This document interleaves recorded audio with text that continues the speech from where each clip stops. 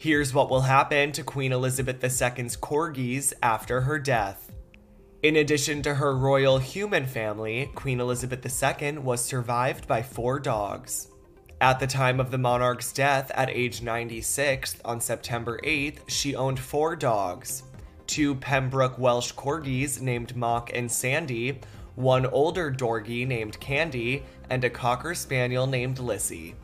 At least two of Queen Elizabeth II's beloved dogs will live with family. A source told NBC News that the corgis will now live with the person who gifted them to the monarch, her son, Prince Andrew. The source says the Queen's corgis will go to live with Prince Andrew and the Duchess of York at their home in Windsor Royal Lodge. It was Sarah, the Duchess of York, who found the puppies, which were gifted to the Queen by Prince Andrew.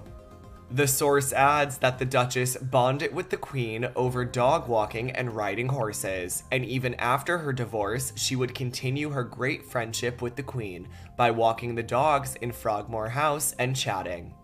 No details have been revealed as to where the Queen's two other dogs will live following her death.